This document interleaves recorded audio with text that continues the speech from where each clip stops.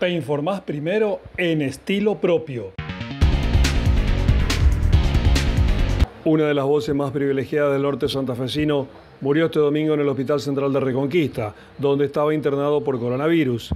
El cantante Eduardo Lalo Sandrigo, oriundo de Lanteri, era hipertenso por lo que su sistema inmunológico general era complicado desde el inicio y su estado se fue agravando en los últimos días.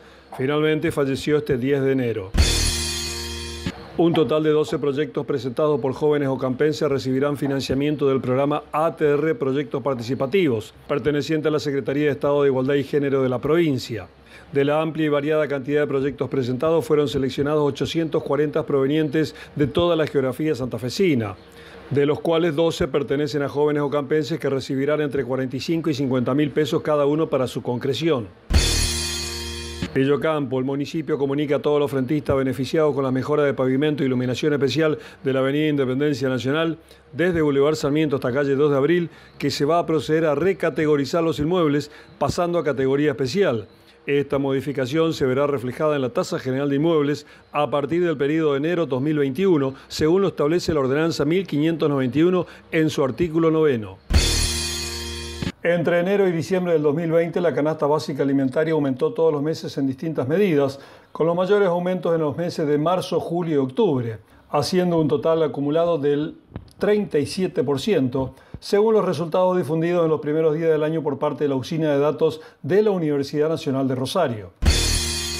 Cotelbo, la cooperativa de servicios, recuerda a todos los usuarios de agua potable cuáles son los elementos obligatorios que debe contar cada una de las instalaciones domiciliarias de este servicio, consistente en una llave de paso, en una canilla de servicios y en un tanque de reserva.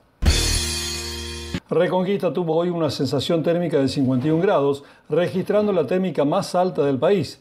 Las autoridades recomiendan no salir de casa, beber mucha agua y mantenerse en ambientes frescos.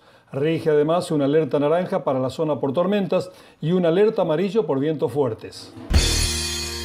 La ministra de Educación de la provincia, Adriana Cantero, anunció que para el ciclo lectivo 2021 se va a trabajar con un sistema bimodal en el cual los alumnos van a asistir a las aulas en grupos reducidos y con alternancia entre semanas. A mediados de febrero comenzarán los grupos prioritarios que incluyen a séptimo grado de primaria y quinto año secundario, para luego el 15 de marzo comenzar el ciclo completo con los demás cursos. Te informás primero en estilo propio. Si te gusta, compartilo.